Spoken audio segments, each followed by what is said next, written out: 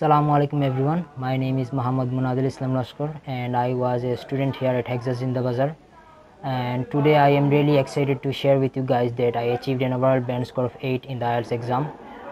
And talking about the individual modules, I scored 9 in both reading and listening, reading and listening, 6.5 in writing and 7 in speaking. I, I firmly believe that this success wouldn't have been possible without the guidance and mentorship of Kashan sir and Mubin sir and also the help from other staff members of Hexas were uh, vital to my success and I also think the, that the facilities provided provided by Hexas Zindabazar are really great and I found the mock test to be particularly beneficial because these tests helped me overcome my nervousness and anxiety and they closely resemble the real exam.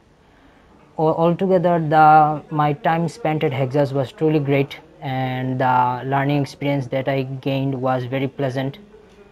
And for that, I want to express my gratitude to everyone in Hexas who helped me achieve my target score.